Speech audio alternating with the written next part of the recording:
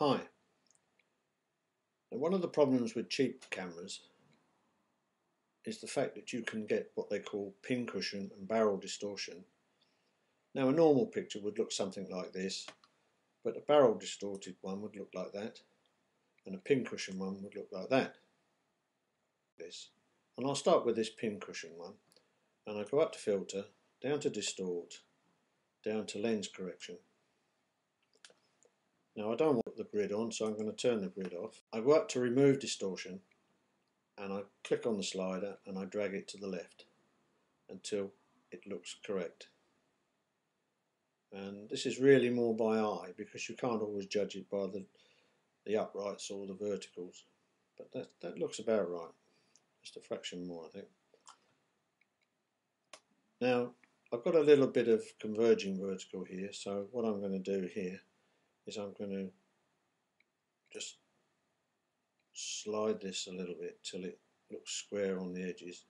I'm not going to get it completely square. And I've got a little bit of transparency here which I just need to get rid of. So I slide that out and I'm okay with that. And that's fine for that one. And as you can see, it's squared up. Now if we go back to the barrel one and do the same with that, filter, distort, lens correction. Again we've got the grid come in and I've turned that off. I don't want that. Now we go the other way with the remove distortion and it brings in pincushion effect as you can see. And that's not too bad. But we've got to get rid of the transparency. So I slide this over until it disappears. And again we've got the converging vertical bit. So I'm just going to move that a little bit just to square it up a bit bit more transparency to get rid of that. And that's it. And that's fine.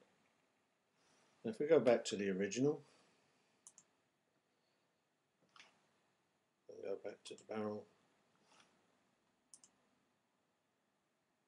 although there's more on the original but because you lose it when you bring in the sides